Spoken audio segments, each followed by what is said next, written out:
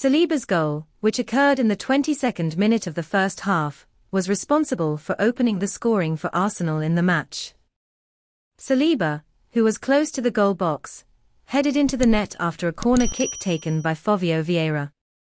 Left-back Oleksandr Zinchenko was responsible for causing the riot by insulting the opposition after Saliba's goal, which led to an argument on the pitch.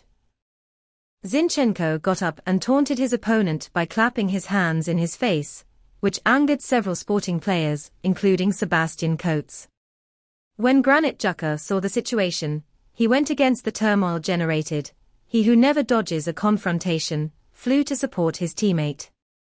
The two players ended up embroiled in a brawl, with Zinchenko and Coates both being booked for their role in the argument.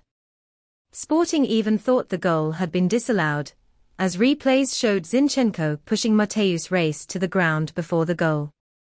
Sporting managed to recover from the goal conceded and tied the game 12 minutes later, after converting a corner. Marcus Edwards took the corner kick, and Goncalo Inacio headed it past Arsenal goalkeeper Matt Turner. There were no more goals for the remainder of the half, with both teams going into the break on even terms.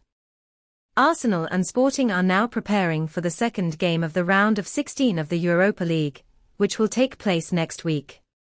To not miss the next news, sign up here on the channel and turn on notifications.